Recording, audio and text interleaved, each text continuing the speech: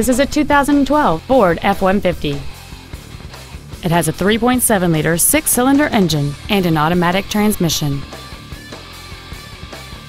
Features include a double wishbone independent front suspension, a low tire pressure indicator, traction control and stability control systems, 17-inch wheels, an engine immobilizer theft deterrent system, 12-volt power outlets, an anti-lock braking system, side curtain airbags, door reinforcement beams, and power windows. Stop by today and test drive this vehicle for yourself.